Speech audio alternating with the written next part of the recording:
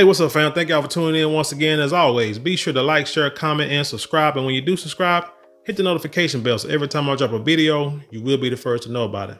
So let's talk about this article I came across yesterday. It's about a quote unquote proposed cop city being built in the southern sector of Dallas.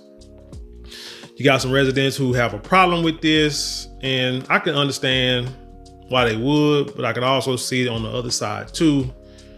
So let's just get into it because we have a few questions and let's hope we can come up with some solutions. Let's have some dialogue. So this is from the DallasObserver.com and it reads, Stop Cop City, proposed DPD training facility faces local opposition. Now, you know, I think they're having that same problem out in Georgia, right? I think it's in Atlanta, certain part of Atlanta or Savannah, I'm not sure, but they're having the same issue because they're trying to build a cop city out there too. So let's see what what uh, all the fuss is about. It said a new facility facility could help train police in Southern Dallas if the idea can win voter approval at the upcoming bond elections. Because I think they start mm, early voting pretty soon here out here in Dallas. Okay, so it says uh, Tamara Neal or Tamara Neal, a third generation Dallasite who grew up in South Oak Cliff, now lives downtown, but her Southern Dallas roots remain strong. She's trying to make an impact on her former home by advocating for people to vote against Proposition F in a 2024 bond package. She wants she wants to stop new police training facility from being built in her old part of town. Now, South Oak Cliff, yeah, I think yeah, okay, let me let me keep going because I think that this is right. Proposition F includes $50 million for the construction of a new Dallas Police Training Academy at the University of North Texas at Dallas. The biggest problem with this specific prop, she said, is the lack of community buy-in for the project. Now, my question is, when this came up, and I see this is, you know, in the Dallas Observer, my question is, how many citizens in this community actually went to the city hall meeting when this was being brought up and discussed because I'm gonna tell you what I know about propositions like this. Anything that that that that that the city council, the mayor, whoever, anytime they come, they have an idea that's going to change the city in any way, whether it's uh, commercial, real estate, infrastructure, uh, legal, law enforcement, education, et cetera, et cetera, et cetera, there has to be a meeting. They're going to have a meeting. I don't know. It may or may not can involve citizens, but I know many cities, many state cities, states think is like, I'm not sure how many times the states have it, but I know many cities have meetings at least once a week, probably twice a month at the least. And they come up with these proposals and people come up and they, you know, they speak about things that they want to create, things they want changed, ideas they have, and then you know it. There's a eventually there's a vote if it can get through certain levels. There's a vote to see if they should or shouldn't do it. My question is, when this was proposed, because they posted stuff one online on on, on the government websites, they put them in newspapers. Uh, you could be walking in your laundromat or at your at your post office or what have you, and they post what the agenda is at these meetings. Again, how many people are actually going to these meetings, uh, you know, finding out about this stuff and then going to these meetings to listen, to take notes, and to voice concerns or approval. If you don't have, because here, because if you don't have a lot of people who attend the meeting, this is where the problem becomes.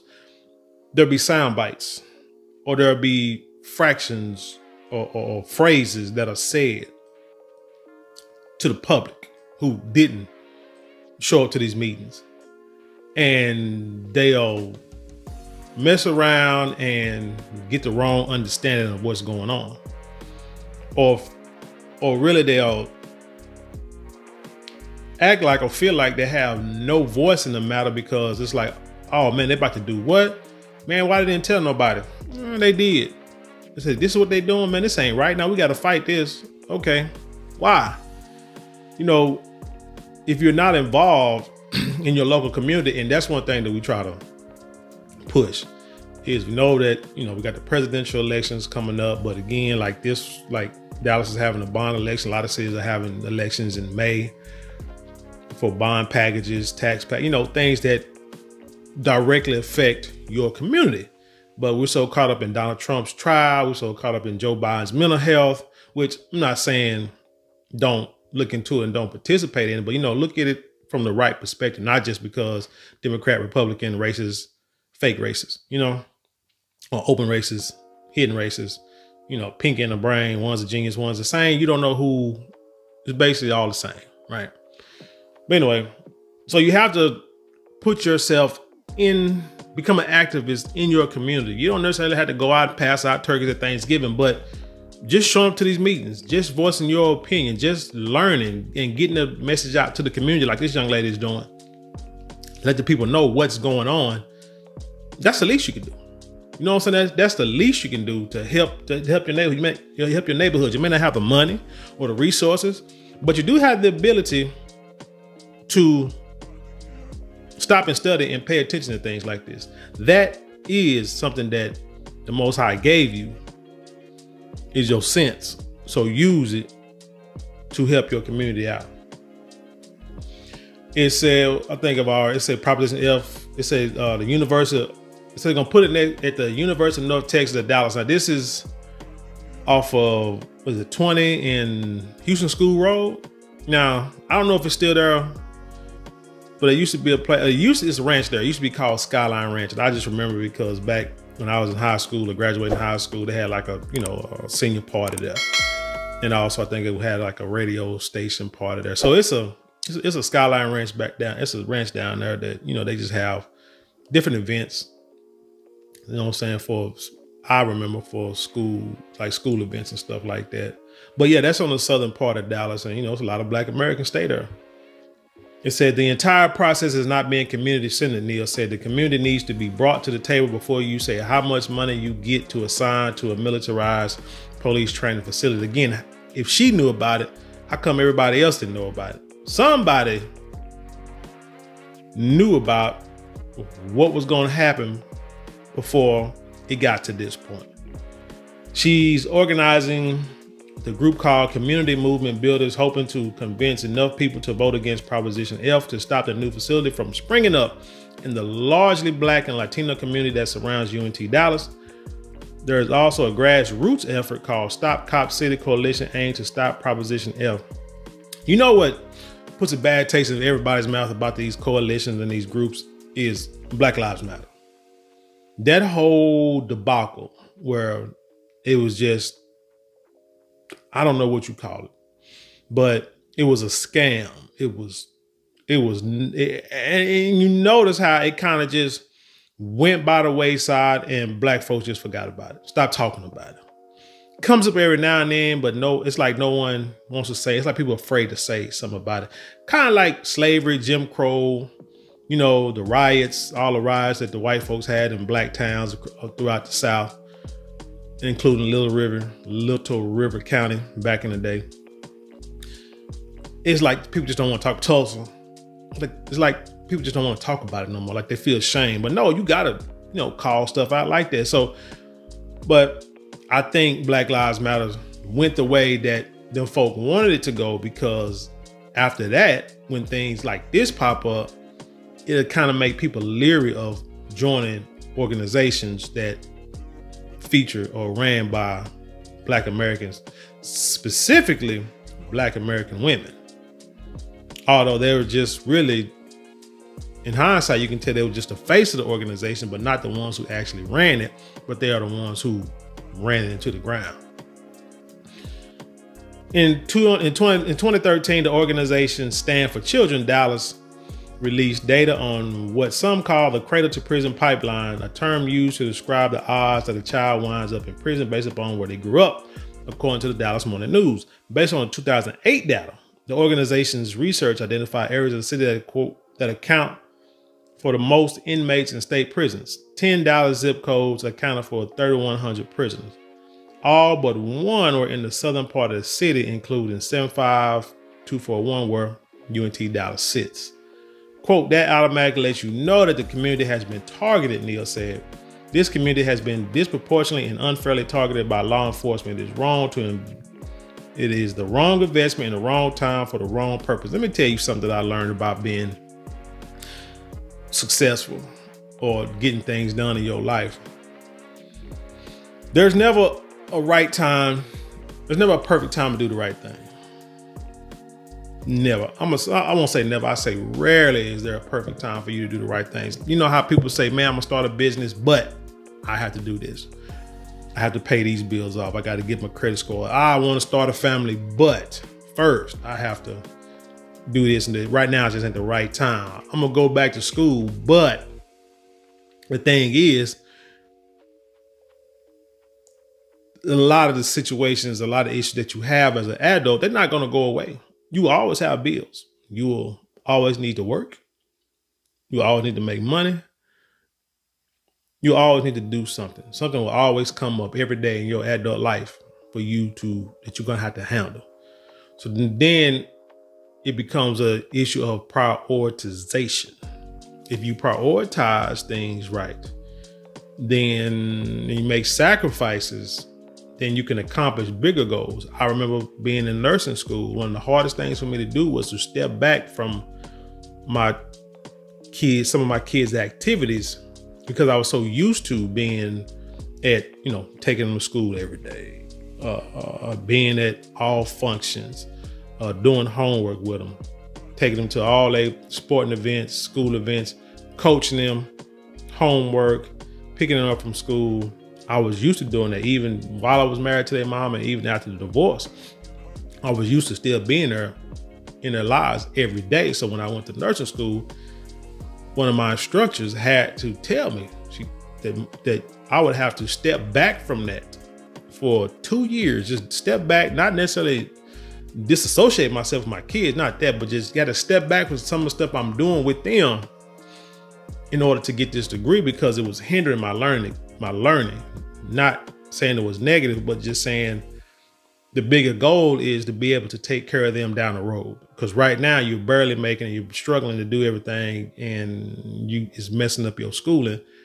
Get through this, get your degree, and then you have all the time and the money in the world to do what you need to do do for them when they grow up.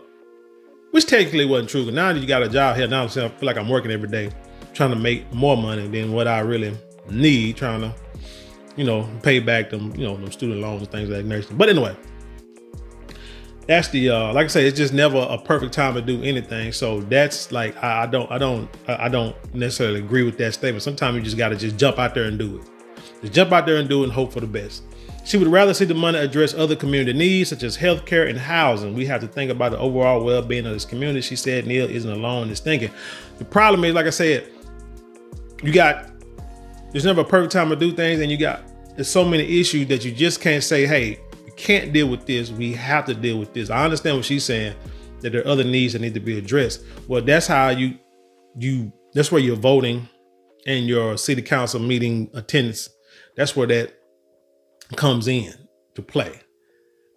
And you and, and you make sure that hey, we need money for this, this, this, and this. We not gonna vote because that's how politicians do each other they say they'll tell they'll tell each other, hey, I'll back this proposition, but I'm gonna need you to back this. And whether they like it or not, they'd be like, okay, fine. We gotta do the same thing. Look, we'll take your cop city, but I'm gonna need you to put money on this. And if you don't, then well, we're gonna make sure we're gonna do everything we can to make sure this cop city never you know come to fruition. But you gotta have enough people to stand behind you or stand with you when it goes down. But if not, you just be on here on Dallas Observer doing an interview and only a handful of people like myself reading. It says, what it say?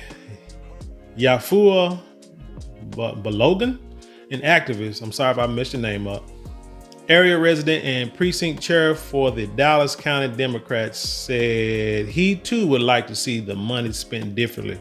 I feel that the proposed money should go towards having a legitimate grocery store or helping create summer jobs for at risk youth. or finding ways to promote financial literacy versus putting a police academy directly in the community. Balogun said. Don't take $50 million to build a grocery store. Um, what else? Money spent differently. Democrat. That's another thing that kind of makes you sit back and see, look, you no, know, get a leery feeling about this. Cause Democrats are the ones who wants to defund the police, right? Well, that's when they holler defund the police. Then your president got up there and said, I'm not defunding the police, I'm gonna give them more money. Then make y'all look stupid. The problem I have with defunding the police is that you have to have law enforcement. The current state of the police force is terrible. It needs revamping. I've always said that. You can't, you shouldn't get rid of the police. You shouldn't take money out of the police. What you do is you restructure it. You do, you know, you have different training. You take out the people that's in there and the old regime and you put in a new regime. And you train them differently than you train the old ones. You you fact not back background check, fact check, whatever you call it. Each of your cadets, you make sure they they have a level level of education, uh, a level level of mental training. Uh, what do you call that? Just you know circumstantial training on certain issues and life-threatening situations, situational training. And you make sure they have enough of that so when they get out there and you put the people amongst their people. I mean, you have to do that. You know, it's uh, it may not be hundred percent great, but it'll be better than what it is. You know, when I say it, you gotta put your black American with your black Americans, your Latinos with their with Latinos and majority and you know whites whites you got to because people have right now there's a stigma unfortunately that we don't that our people don't you know um trust the police.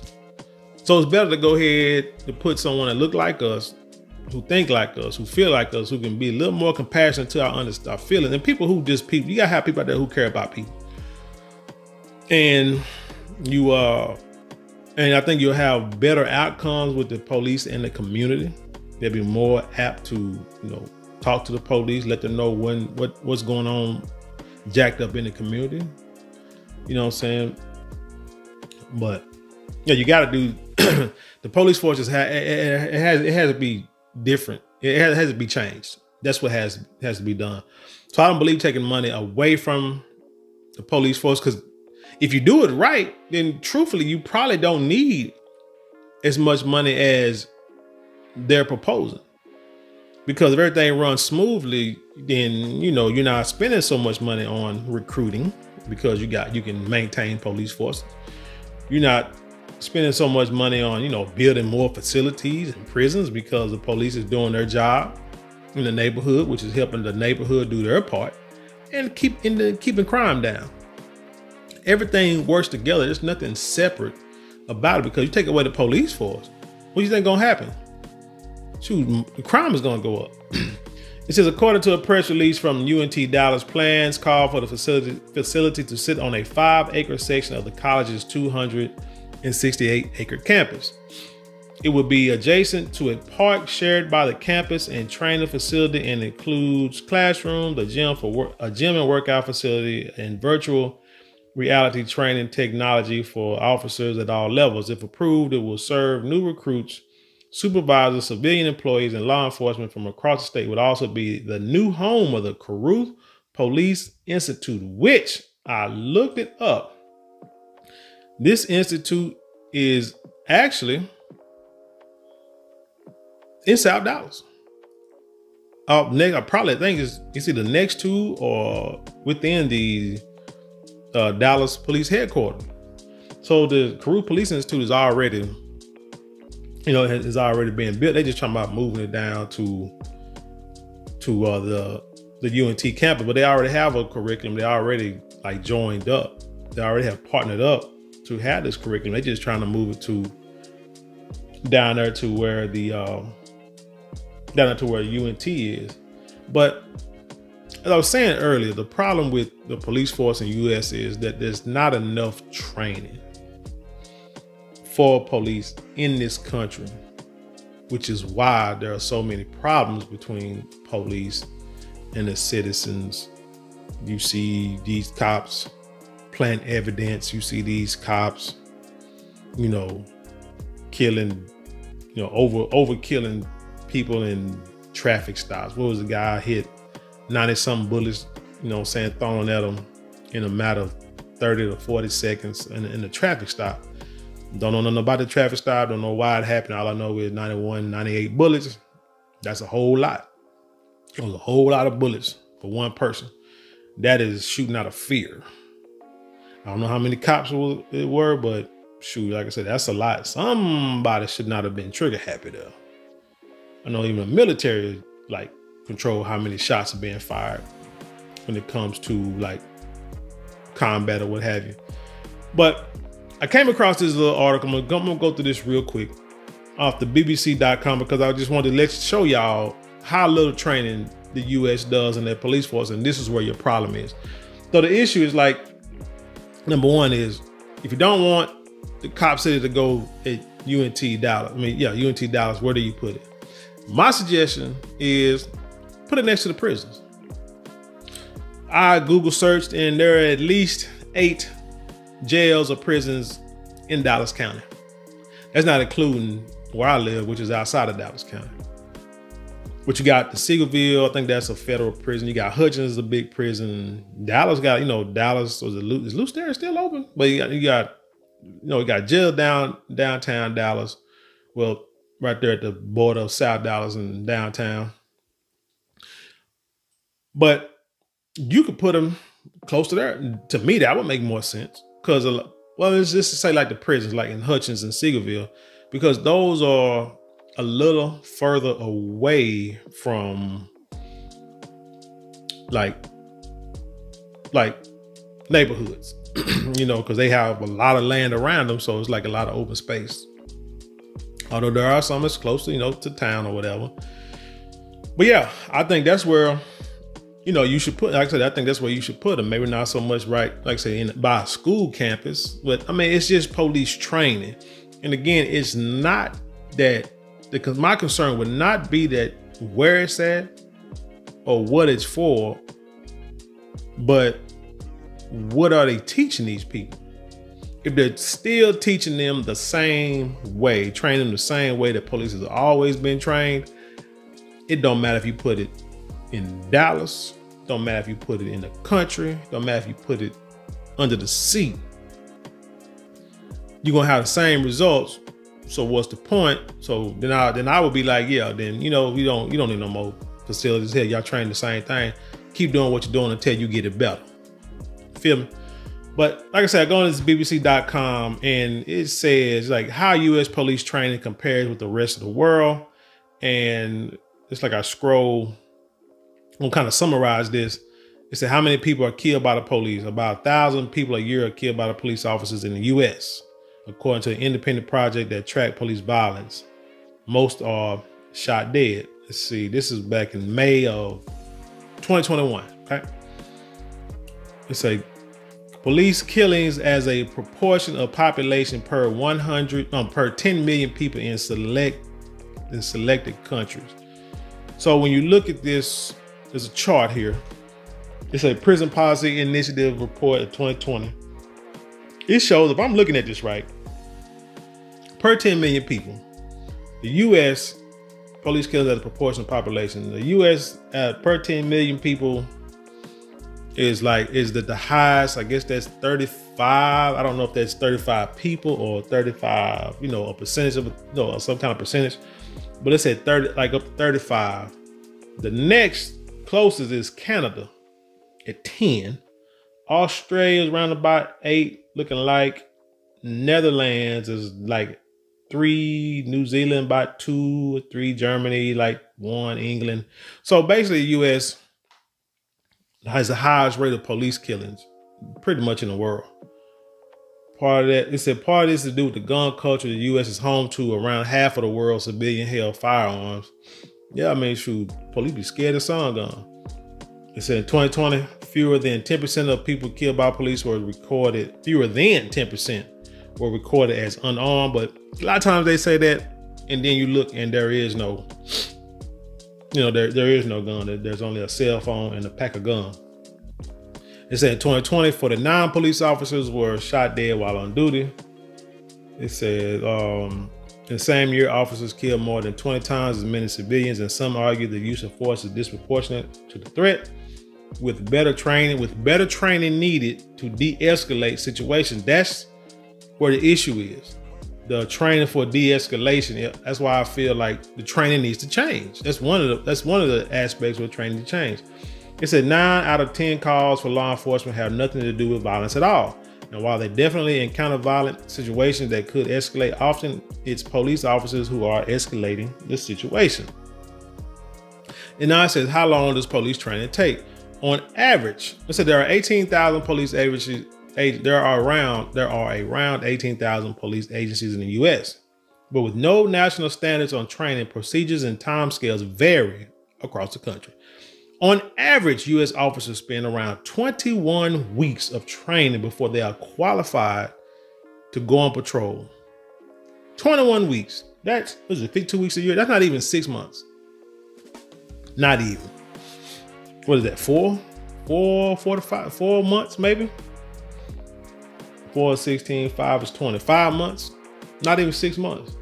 So it say this is far less than most other developed countries according to a report by the Institute for Criminal Justice Training Reform.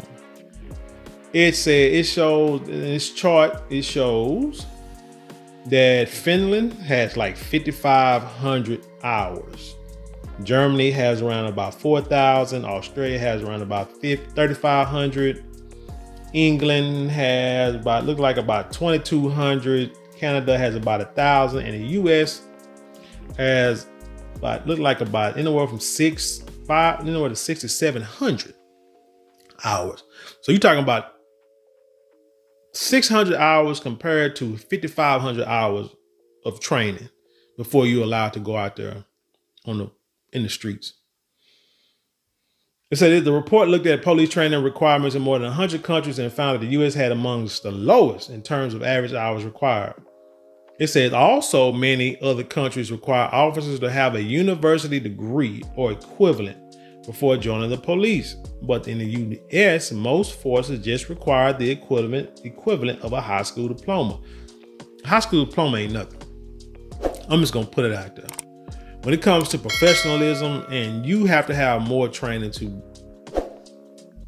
and more more education to become a professional in anything in this country. You have to, to be a doctor, lawyer, nurse, uh, work with autistic kids, you know, BCBA, uh, an accountant, nurse practitioner, anything with a profession, you got to have some kind of two to four year degree or some 18 month certification, right? To say that you are professionally trained to be able to perform your task and a lot of times, and some of them tasks or training or fields have nothing to do with life or death situations. This does. Every time you put on that badge, every time you clock in, you're a police officer. At any given moment, your life could be taken, or you have to take someone else's life, or you have to make a decision that could be life or death for either one of y'all. And to only have 21 weeks of training and given a gun and to go on patrol in neighborhoods you probably know nothing about and people you know nothing about. If you just have a high school diploma, I'm telling you, you do not understand the psyche of the human mind. You go out there thinking you're gonna go and you're gonna change the world, and you come to realize that criminals are criminals and people lie. People are deceptive. People cry, people lie and cry, let's say that. They'll make it seem like they're just being given uh, not a fair shake everybody, everything is unfair. No one is trying to help them out. When in actuality, eh, the circumstances may not be what you want them, but a lot of things that you do, you can be it, can, it can be avoided. But in their environment, that's not how they're trained. That's not what they're you know what what what, what they've been taught. It says in England and Wales, it has recently become mandatory for officers to have an academic degree, which I I, I agree because you got to have to me you got to have more training in real world. Like I said, high school, you kids, so all you got is enough training, uh, the equivalent equivalent training of children, and then they say you can go out there and be on a police force. To me, that's the most craziest thing in the world. Mm, Finland has one of the highest gun ownership rates in Europe, uh, with around 32 civilian firearms per 100, but incidents of police shooting civilians are extremely rare. U.S. Police Academy spends far more time on firearm training than on de escalating a situation 71 hours against 21 on average, according to a 2013 U.S. Bureau of Justice Statistics report. And in the US, the escalation of force is at the discretion of the officer, whereas in countries such as Norway and Finland, there are more rigorous rules as to what considered justified use of force. Most of the training in US is focused on various types of use of force, primarily the various types of physical force. The communication skills are largely ignored by most police academies. This is why you see officers very rapidly escalating from initial communication to the actual physical use of force because this is how they train. So see, that's what the problem is. Like I say, it don't matter where you put the police academy. Because I'm tell you like this, if the police was really like had a good re rapport and relationship with the community, they wouldn't care. Wouldn't nobody care where you put a police academy at. Wouldn't care. Because they know that they're getting the proper training. They they matter of fact, they it would probably be welcomed into in the neighborhood. But to say that you don't need one because the community need the money for something else, yeah, yeah, they need money for other things, but they also need money for this because let's be honest, there's also a lack of police officers. This is why they are building facilities. And is probably why there's only 21 weeks of training because you have police officers that are retiring, things are changing, but it's no different than nursing. Look at, at the statistic in nursing, they are saying, and teachers, because the problem is the training it's not just the training inside the, the academies, it's also the people, the civilians. Because you're dealing with people like like I say in nursing, you deal with people, you go in wanting to help them, wanting to get them better, walking out better than the in, in uh, than the condition that they came in. And they come in, they tell you that, that story of why they're in this situation, why technically wasn't their fault you know, yada, yada, yada. You fall for it. And then every day you go in there trying to help them fix the situation. And next thing you know, they did they go back and do the same thing that they came in for in the first place. And people tell you, man, hey, this person here, they, you know, they do drugs, they do this and do that. You know, you just it is what it is. But then they come in acting like they need your help. They want you to fix them, but not necessarily fix them, just prolong ease their pain so they can go back and do what they do. They go through the whole cycle all the time, but that stuff gets tiring. And then people in the corporate in, in the corporate offices, they don't have your back because they're all about making profit, which hey, it's, everything is a business, right?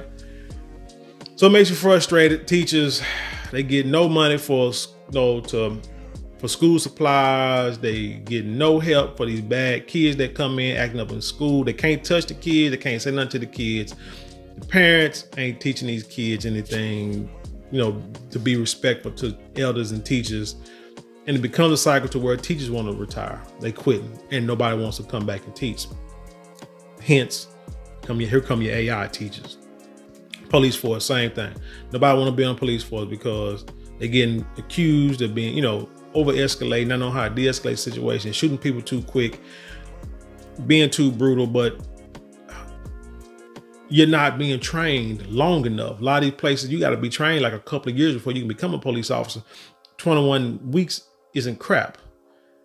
And you don't have a degree, so you're basing what, what, what are they? They either people who only got a high school diploma, like I only got a childish childhood education, or they're out the military, so all they know how to do is kill. So they're upset because the people that trained them don't have their back. So now they're ready to quit and retire. Same thing in nursing. Trained to take care of people, but then you go in there and you're dealing with patients and staff members too who just ain't on the same page as you. And then are you're ready to quit and do something different? So my thing is on this in this situation is that I wouldn't be someone. Well, first, everybody go down to your city council meeting. If you can't make it, I, am quite sure they stream them online because I know my city does it too. So if you can't make it, just make sure you know when it happens and you know get your notifications like you need to do with this channel when you like, share, comment, and subscribe. Hit the notification bell.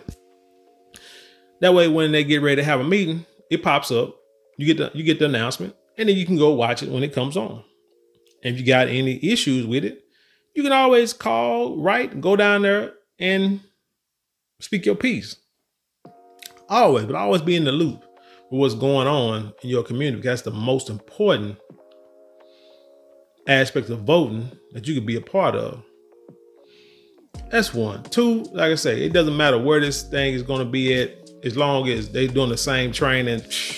Hey, but I can understand, hey, we don't want to hear, we don't want to hear now, unless you're gonna change. That's that's what I would say. Go down there and say, unless you're gonna change the curriculum, we need your curriculum to be the same, if not better than Norway and what's the other countries?